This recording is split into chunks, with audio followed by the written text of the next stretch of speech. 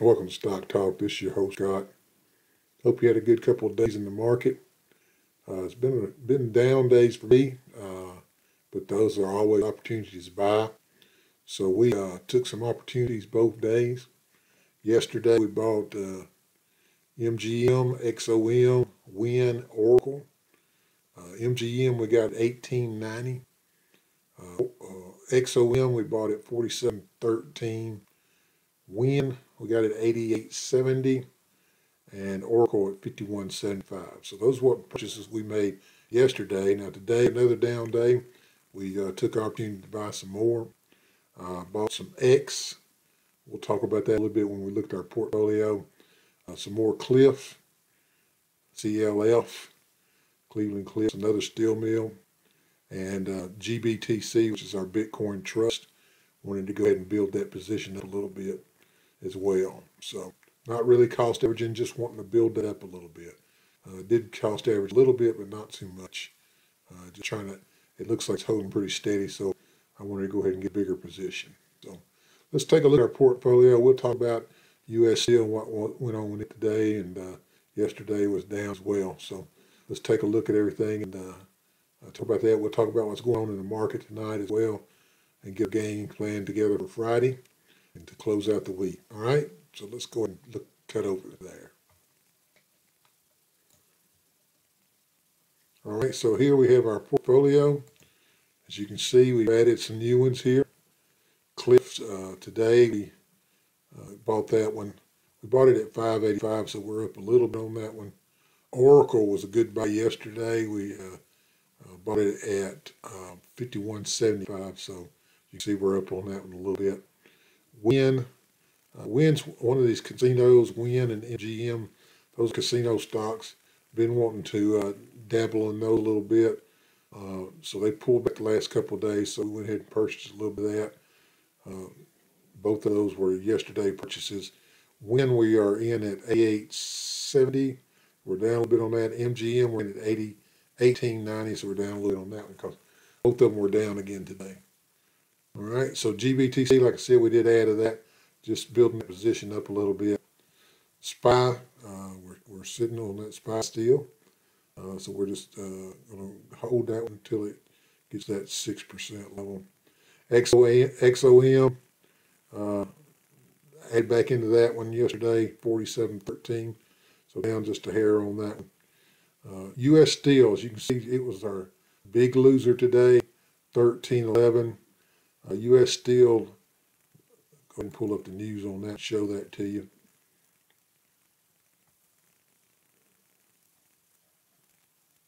So you see here, U.S. Steel lower demands to hurt Q2 financial results. But really what uh, knocked that one down um, is this right here, a $400 million stock sale plan.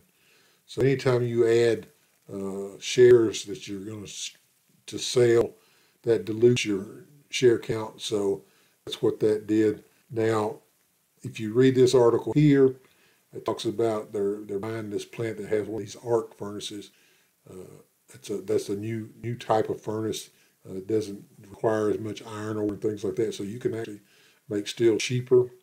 Uh, so that's that's what they're doing with this cash, uh, as well as you know staying afloat uh, because the coronavirus has affect, affected their their company as well. It's just like anybody else's.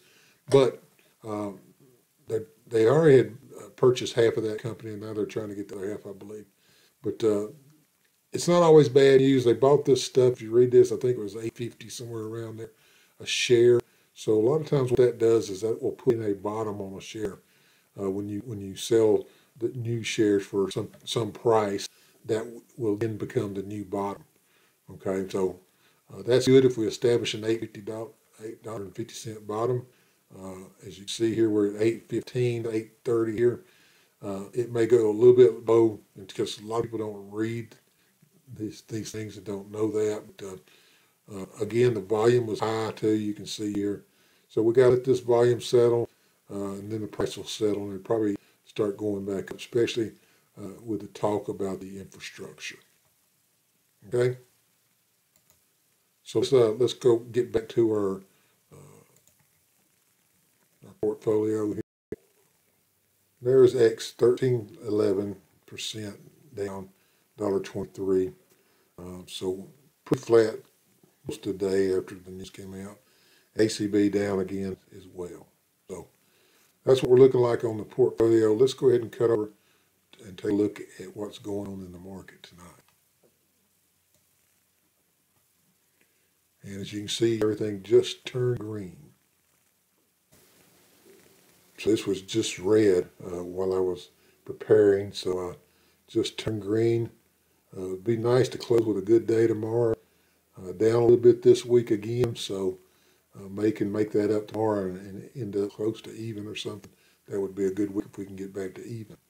But uh, anytime the market goes down, it's always an opportunity to buy, and that's what we've been doing. We've got lots of cash. We're still probably 50% cash or so, 55 or somewhere around there. I had checked it today, but uh, a lot of cash still. So that's okay. We don't mind things going down because it gives us an opportunity to buy. All right, so uh, let's see what's going on in Asia. You can see here Dow just pretty flat, just now turned green, so just pretty flat across the board here. Asia, let's take a look at that. All right, pretty flat there as well, it looks like. Hong Kong still closed, so nothing going on there. The U.S. market today, as you can see, we're down 39 points on the Dow and uh, out a little bit of green on the S&P and the NASDAQ as well. So not a terrible day, but uh, U.S. Steel kind of hit me kind of hard because that's one of the larger holdings. So even though the market was down 0.15%, I was probably down further than that. All right, oil. Oil uh, gains 2% on OPEC uh, output cut compliance. So that's good. And it was up today. It looks like it's up a little bit more today. MPC was up pretty good today as well. I, noticed that. Um, so that's good for any of you holding the MPC. All right, so that's the market. Looks pretty good. May have a good start tomorrow. As you can see here again, still green. So uh, let's we start out great with a great day tomorrow. All right. So what we're going to do tomorrow, tomorrow we're just going to again look for opportunities. Like to have a good good day tomorrow to close out the week strong. We got a couple that actually we got a lot, uh, several of these stocks that we bought, uh, in the one day could we could be selling them, just depending on how good the day is. Uh, but that Oracle was really close to selling. I think we're up two and a half, four percent on that one already. So a good day tomorrow on Oracle, we might be out of it pretty quick. Uh, so that's that's one. Um, uh, there's some others that are in green, and there's some that's you know less than a percent down. So we're sitting good. Uh, wouldn't take much to get to sell some tomorrow. Would love to sell Oracle tomorrow. That'd be good to go ahead and cash in on that. But um, other than that, uh, any of you still holding Novavax? It's had a pretty good week. I was up again today, really good. Uh, I had some friends were holding some of it, and they were selling uh, parts of theirs today. Uh, but I just can't get back in it until it gets rounded back to that 42, 43 range. May never get there, so I may not be buying back into it anytime soon.